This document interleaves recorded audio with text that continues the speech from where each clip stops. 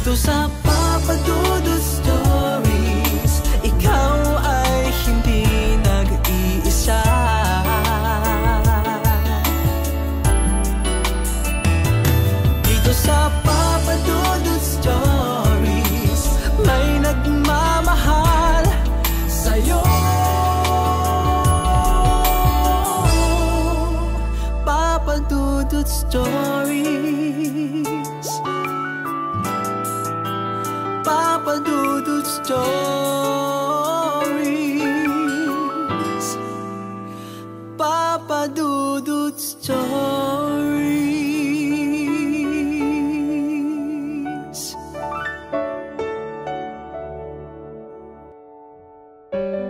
Magandang araw sa inyo mga kaibigan bago po tayo magpatuloy sa ating kwento ng pag-ibig dito po sa Papa Dudut Stories.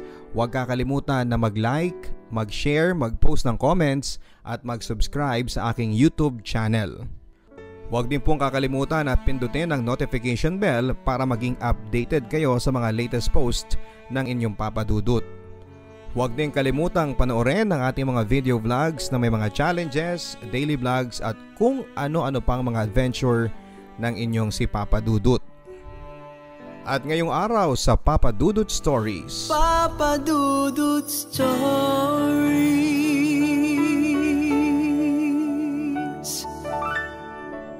Maraming pagkakataon sa buhay ko Papa Dudut na gusto ko nang sumuko habang nagdadalang tao po ako. Sa pakiramdam ko kasi Papa Dudut ay sobrang kinawawa ako ng taong labis kong minahal at pinagkatiwalaan. Pero magagawa pala akong paikutin. Yung akala mong taong tutulong sa'yo sa panahon ng krisis ang mas mauuna pa palang manloko sa'yo. Dear Papa Dudut Mga ka-stories, tawagin niyo po ako sa pangalang Teresa. Hindi ko po yan tunay na pangalan. Nababaitan lang po ako sa pangalang Teresa. Siguro dahil sa alam kong pangalan siya ni Mother Teresa. Hindi ko naman po sinasabing magkapareho kami ng ugali ni Mother Teresa pero kung pagiging mapagpakumbaba at mapagbigay ay siguro ay papasan ako kahit pasang awa. Yan ay kung pagbabatayan ang mga masalimuot na pinagdaanan ko sa buhay pag-ibig. Hayaan niyo pong simulan ko ang aking kwento ng buhay ko noong nag-aaral pa lamang ako sa kolehiyo. Hilig po naming magbabarkada at magkakaklase na dumaan muna sa malaking basketball court sa aming barangay sa tuwing uwian na. Gustong gusto ko po kasi na pinapanood na mag-practice at maglaro ng basketball ang mga varsity players sa aming barangay. Lalong lalo na si Brian.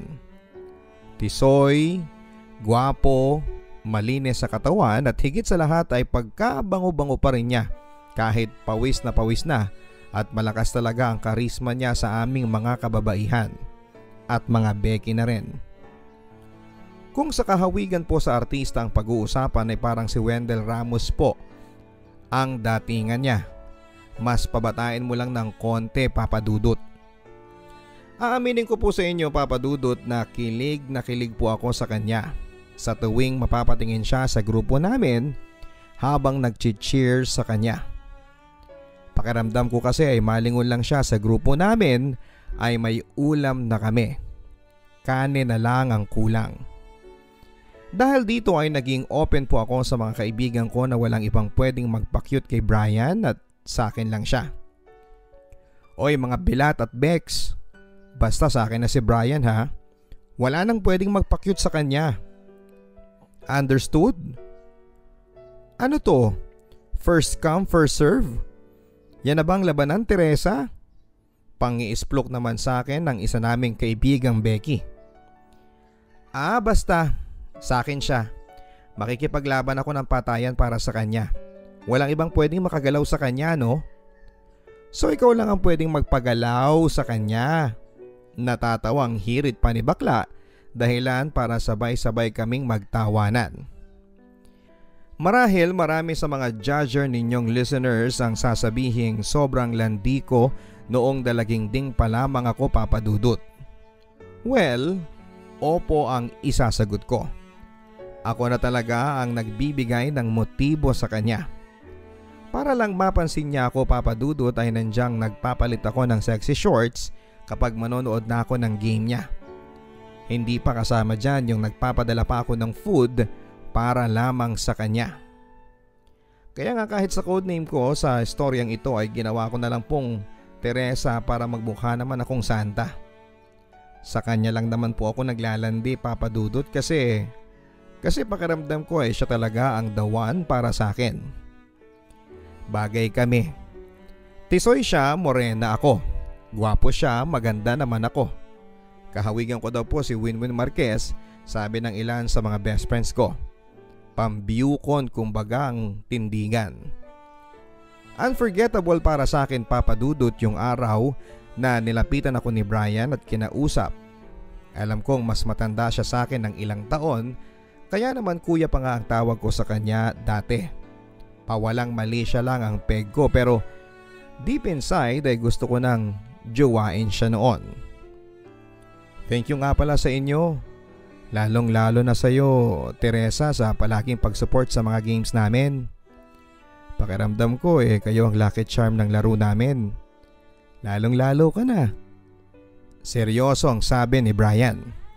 Napastatwa na lang ako noon papadudot dahil sa sobrang kilig na aking nararamdaman. Yung mga barkada ko naman ay todo tukso sa aming dalawa. Nakahalata na yata si Brian na crush ko din siya. Mula kasi noon ay lagi na niya akong nilalapitan sa tuwing matatapos ang basketball practice nila. At makalipas nga po ng tatlong araw ay naging kami na. Officially ay masasabi ko na sa lahat na talagang akin lang po si Brian. Cheap man tignan dahil 3 days ang ligawan at sinagot ko siya kaagad ay wala akong pakialam. Ang importante sa akin ay hawak ko na ang titulo na si Brian na ang jowa ko. Ako ang GF niya. Ang saya hindi ba? After ng practice ay humiwalay na kami ni Brian sa mga barkada ko at mga kalaro niya. Madalas ay nagpupunta kami sa kung saan lugar na pwede kaming makatambay at makapag-usap bago niya ako ihatid sa bahay. Halimbawa ay kakain kami sa fast food o kaya naman ay manonood ng sine kapag may time pa. Basta huwag lang kaming masyadong gagabihin ay okay lang naman sa bahay. Alam ng mga magulang ko papadudot na nililigawan po ako ni Brian. At okay lang naman daw sa kanila. Palibhasa kasi ay iisang barangay lang kami at kilala naman ng parents ko ang mga kamag-anak ni Brian. Basta mahigpit na bilin lang sa akin ni mama ay uuwi ako ng bahay bago mag alas 9 ng gabi. At dapat ay magte-text ako kung saan na kami ni Brian. Ang alam sa bahay papadudot ay nililigawan pa lamang ako ni Brian. Hindi ko pa kasi maamin sa kanila na 3 days lang ay sinagot ko na si Brian. Nakakahiya at siguradong pagagalitan ako ni mama kapag nalaman niya na hindi man lang ako nagpakieme sa una kong manliligaw. Exclusive lang sa mga karibal ko kay Brian ang info na officially ay kaming dalawa na at hindi na siya pwedeng landiin pa ng iba. Isang araw, inabot kami ng malakas na ulan sa basketball court. Saktong nakauwi na rin ang mga kasama ko noon at kaming dalawa na lamang ni Brian ang natitira sa basketball court kasama ng mangilan-ngilan na mga ka-teammates niya na handa na ring sumugod sa ulan. Nakakainis lang kasi 15 minutes lang ang pagitan ng nakaalis na ang mga friends ko nang biglang bumuhos ang malakas na ulan. Na-stranded pa kami ni Brian. Kung nakasabay sana kami pa uwi, di sana nasa bahay na ako. Pihadong magkakasakit kaming dalawa ni Brian kung susugod kami sa ulan. Sakay ng motorsiklo niya at isa pa ay takaw aksidente rin dahil madulas na sa daanan. Nag-text na lamang ako sa bahay papadudot na baka malate ako ng uwi dahil na-stranded nga ako sa ulan.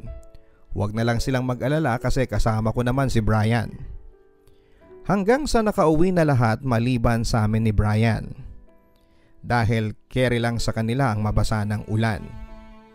Ang ending, Kaming dalawa na lang ni Brian ang natira sa basketball court. Samahan mo ko Brian sa CR. Naiihi na ako at saka natatakot din ako eh. Sira kasi yung ilaw doon. Hindi naman umangal si Brian sa request ko sa kanya.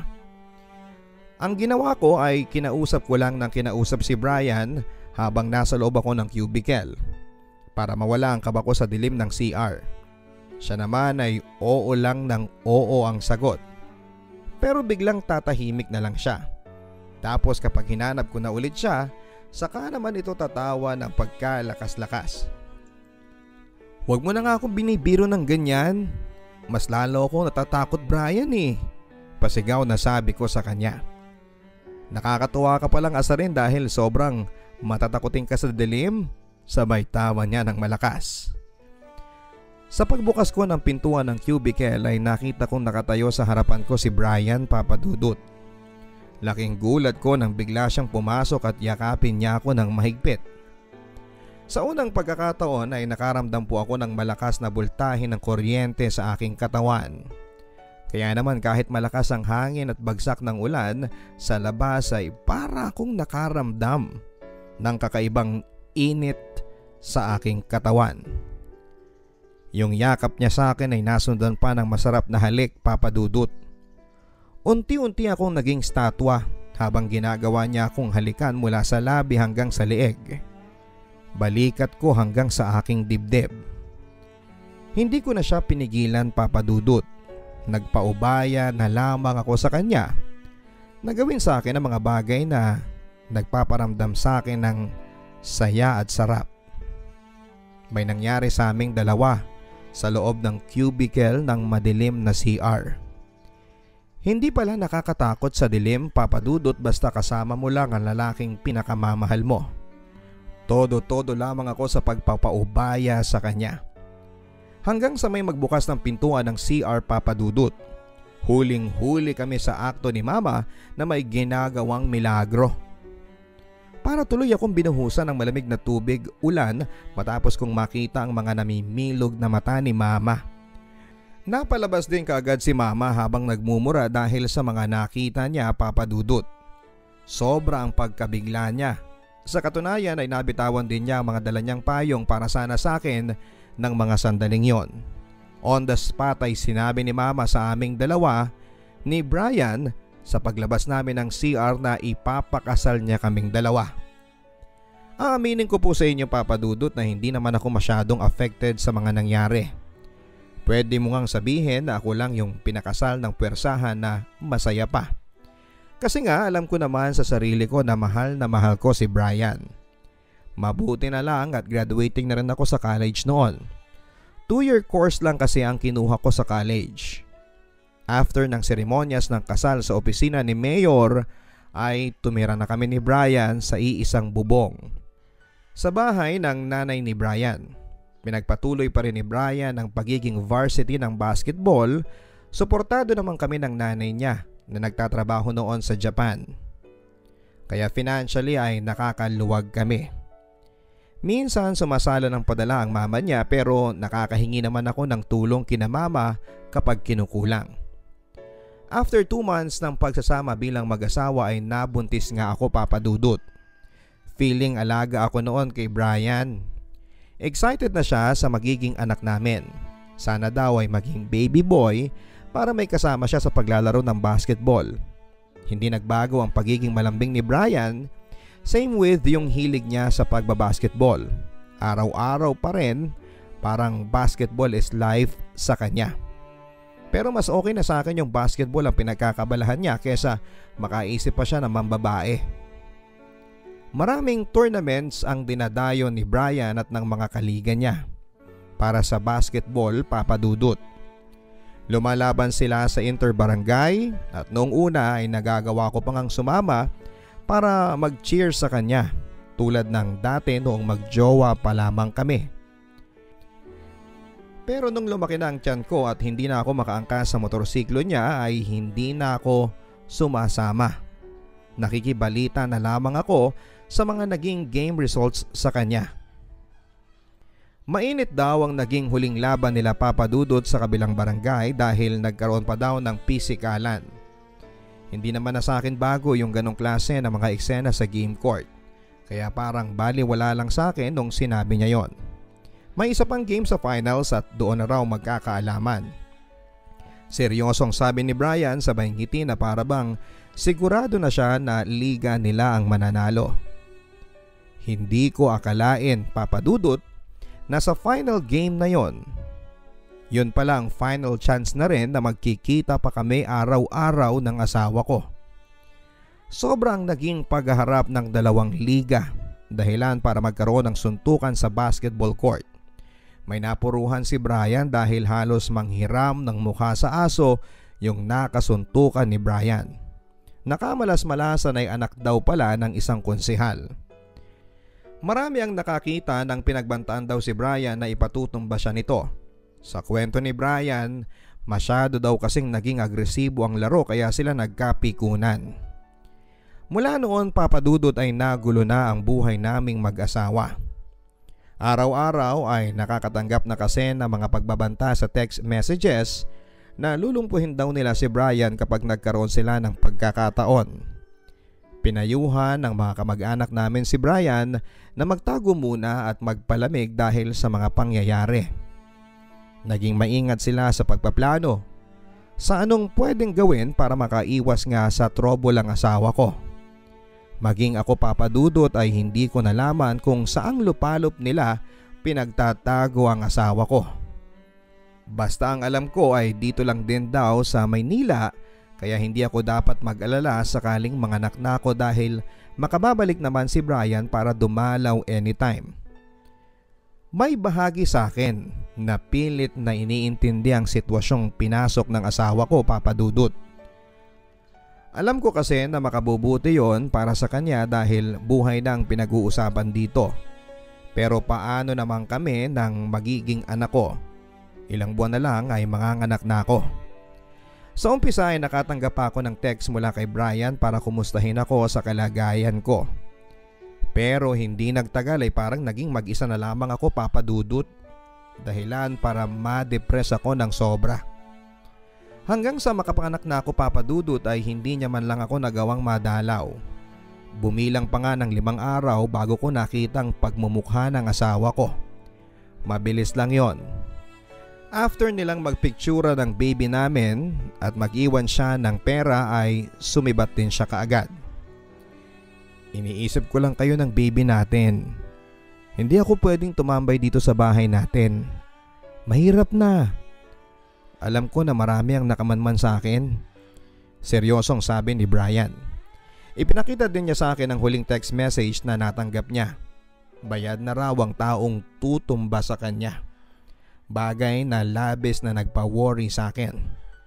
Naiiyak na lamang ako noon papadudot dahil pakaramdam ko ay unti-unting nasisira ang pinapangarap kong masayang pamilya dahil lamang sa galit sa kanya ng ilang makasariling tao. Ginamit nila ang yaman nila para makapanakit ng ibang tao.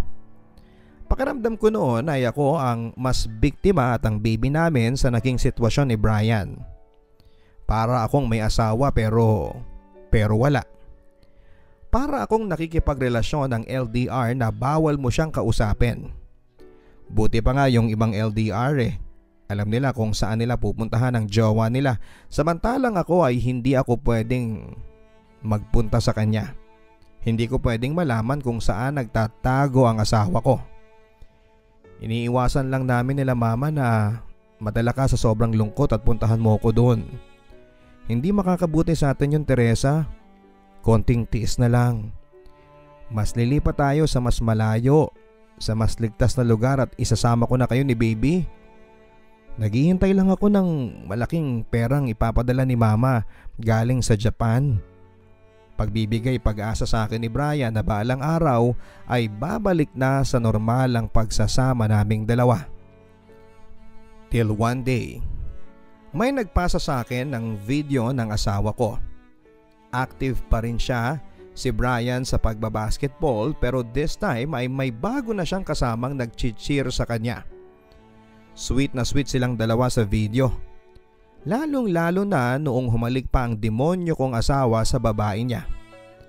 Pero ang mas nagpabilog sa mga mata ko ay nang nakita kong buntis si girl sa video. Mataba yung babae sa video pero mas mataba at bilog na bilog ang tiyan niya. Kaya hindi ako pwedeng magkamali papadudot. May ibang babae ang asawa ko at buntis pa yung babae. Iyak ako ng iyak noon yun na po yata ang pinakamatinding depression na na-experience ko sa buhay ko. Wala din ako mapagsabihan ng sama ng loob ko dahil nahihiya ako sa mga magulang at sa mga kamag-anak ko. Ano na lang ang sasabihin nila sa aming dalawa ni Brian papadudot. Ayoko namang kaawaan ako at ang baby ko. Okay na sa akin yung isang beses akong pinagpiestahan ng mga chismosa sa barangay namin Nung pinag-usapang nakipag-sex lang ako sa CR kaya ako pinakasalan. Ayaw ko nang madagdagan pa yon ng chismis na ipinagpalit pa ako sa iba. Mula noon ay madalas na akong makitang tulala ni mama. Sinasabi ko na lamang na nami-miss ko si Brian papadudot.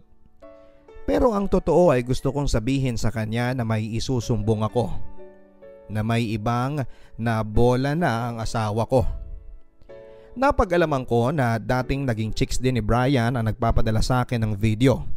Ibang klase talaga ang karakas ng asawa ko. Hindi lang pala ako isang beses niloko. Mag-isa ko lang pong pinuntahan si Brian sa lugar na sinasabi sa akin ng asset ko. Halos mawala na ako ng boses noon sa kakasigaw sa kanya at sa naging babae niya. Ang sabi sa akin ni Brian ay wala na daw siyang magagawa dahil nandyan na. Iyak lang ako ng iyak noon papadudot. Mabibinat yata ako sa ginawa kong pagwawala kaya naman umabot pa kaming tatlo sa baranggayan. Dahil dito ay nakialam na rin ang nanay ni Brian sa Japan. Umano ay ititigil niya ang pagsusustento sa amin ng anak ko sakaling ireklamo ko ang anak niya. Nilatag din sa akin ni Brian ang ideya na napingot lang siya at pinagbabantaan din siya ng mga kamag-anak ng bagong babae niya kapag hindi rin siya dito nagbigay ng sustento. Si mama na raw niya ang bahala sa mga gusot na pinasok niya. Pinangako sa akin ni Brian na ako daw at ang baby namin ang mas mahal niya. Magpapakalayo-layo na raw kaming tatlo pero sa isang kondisyon. Walang makakaalam sa mga kamag-anak ko nang nagawa niyang kalokohan. Gusto ko na pong pumayag papadudo dahil kailangan ko din pong magpaka-praktikal. Ayaw ko din naman po yung ideya na pag-usapan pa kami sa lugar namin. Kumbaga ay mas praktikal yung ino-offer sa akin ni Brian na solusyon. Isa pa ay wala na rin naman akong magagawa sa bagong gusot na pinasok ng asawa ko. Kundi ang pagtakpan na lang siya sa tulong na rin ng pera ng nanay niya. Ano po kaya ang mas tama kong gawin papadudot? Mapayuhan po sana ako ng inyong mga tagapakinig. Ang inyo pong ka-story, Teresa.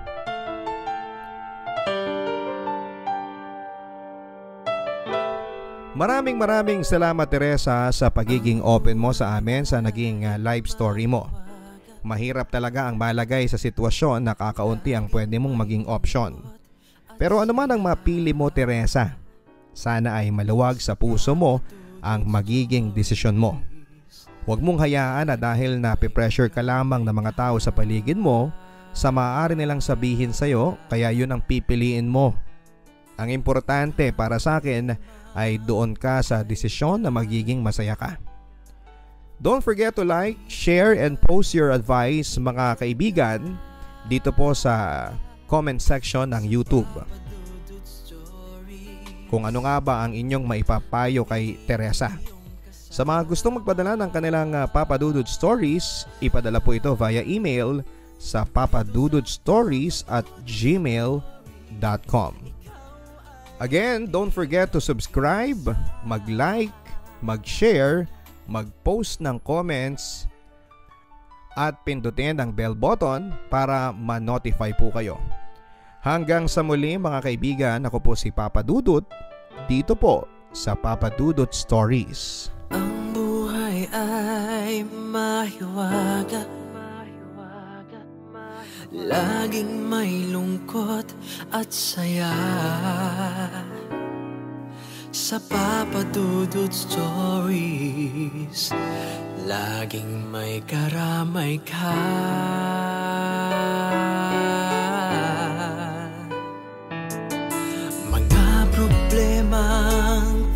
bigat.